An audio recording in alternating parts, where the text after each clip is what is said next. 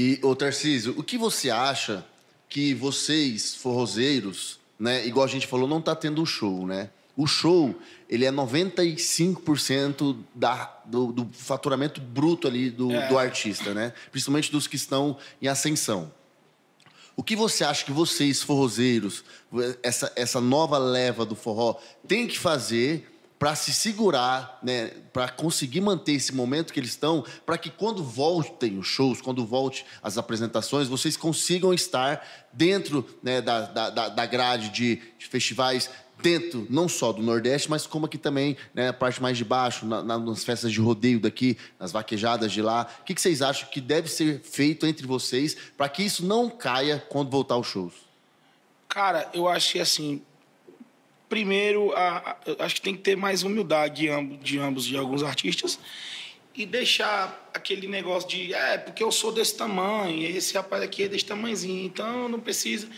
Eu acho que isso, esse- essa diferença é onde está o defeito. Eu acho que se a gente tentasse se ver mais igual, pô, quem está em, em evidência fulano, esse crânio, Pô, que massa, vamos se unir ali, vamos chegar junto.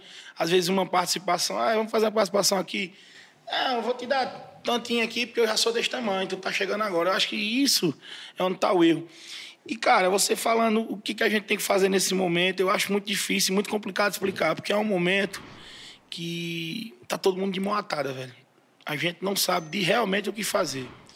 O que a gente queria, é igual Sorocaba, você vê é um cara de visão. Sorocaba, se você perguntar isso pra ele, ele vai te dar 300 mil explicações. Agora eu não, eu sou lesado, eu não sei nem ele fala. Não, lesado, você não é não, você é muito esperto. Eu Pra não sei você- nem lhe dizer o que nós vamos fazer. Só o que a gente conversou aqui, dá pra perceber que você não é lesado, não. Você é Eu muito acho que esperto. nesse momento nós temos que orar, viu, bicho, um bocado e pedir a Deus que. Porque, cara, tá complicado, velho. Uhum. Se você ver a situação do Nordeste, não tá. Músico vendendo instrumento, músico pedindo uma cesta básica. Artista que era grande ficou nada. Artista que era pequeno tá começando.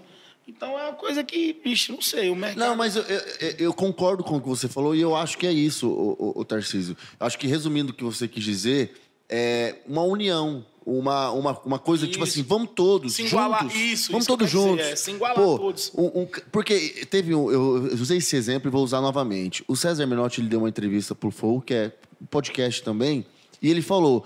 Hoje, se o Fernando de Sorocaba, ele deu um exemplo, se o Fernando de Sorocaba vender um show a 450 mil, eu posso vender o meu show a 350 mil e ninguém reclamar. Por quê? Porque ele fortaleceu o movimento sertanejo, ele fortaleceu aquilo. Então, se, ele tá- se o cara tá pagando 450 mil sorrindo, ele vai pagar 350 mil pra mim também. Então, se tiver essa, essa mentalidade de não concorrência, tirar o ego de lado e pensar que eu fortalecer, eu sou o número um do forró, o número três do forró. Se eu fortalecer o Tarcísio, se eu fortalecer o Natan, se eu fortalecer qualquer um artista do forró, eu vou me fortalecer por É, consequência. eu vou, vou levar ele. Eu não vou, eu não posso pensar que não, vou dar moral pra esse cara. Eu não, tô- né? Até porque a gente é de um movimento só, né, velho? É, Que é exato. o forró. Eu acho que o forró estando em alta para um, não tem como não estar em alta para outro. Eu acho que.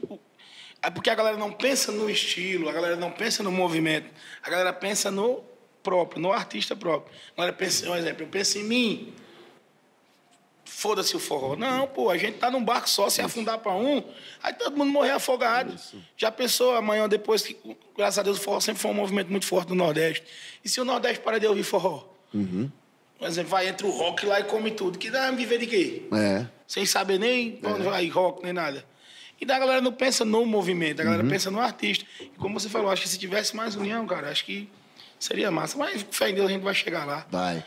Ei, você que acabou de assistir aí o corte do Próximo eu vou te convidar pra seguir a minha playlist lá no Spotify. Sertanejeiro Top Lançamentos 2021. Essa é a capa aqui, ó. Vocês vão ver essa capa aí, Renato Sertanejeiro, Lançamentos 2021. Sigam lá a minha playlist, que eu toda semana tô atualizando com novidades do sertanejo, só as músicas mais tops, pra você colocar no seu churrasco, na sua resenha, em qualquer lugar. Se você não conseguir achar, o link tá aqui na descrição do vídeo também, então fica facinho de você achar a minha playlist. Então, me sigam lá, me sigam lá. Sertanejeiro Top Lançamentos 2021. Essa é a Spotify aí do Sertanejeiro, fechou? Outra coisa, deixa seu like aqui também no Código do Prosa e se inscreva aqui no canal que tem muitas outras entrevistas a serem realizadas, fechou? É nóis, tchau, obrigado!